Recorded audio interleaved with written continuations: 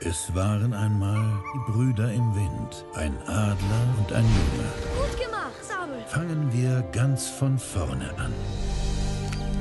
Er kam als Prinz zur Welt. Wie geht's Lukas? Irgendwie ein komischer Junge. Ihre Geschichte, so schien es, war vorbestimmt. Hab keine Angst. Ich tu dir nichts. Du musst ganz schnell mit den Flügeln schlagen. Er ist noch zu jung. Dann. Wie geht's aus? Manchmal ist es viel wichtiger, seine eigene Geschichte zu erzählen. Ja! Du kannst fliegen! Ja,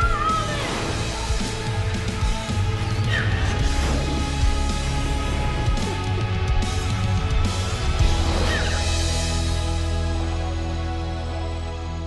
Ich habe ihn gefunden. Nein, mein Sohn, er hat dich gefunden. Ich grüße euch! Ich bin ein Schwein! Was ist ein Schwein?